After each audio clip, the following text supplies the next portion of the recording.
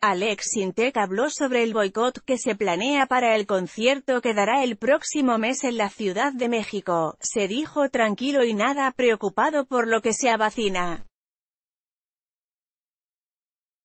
Ante tal petición surgida en redes sociales, el intérprete de «Lo que tú necesitas» declaró que «estoy en pro de la libertad de no censurar y de no prohibir, pero eso sí hay que respetar a los niños».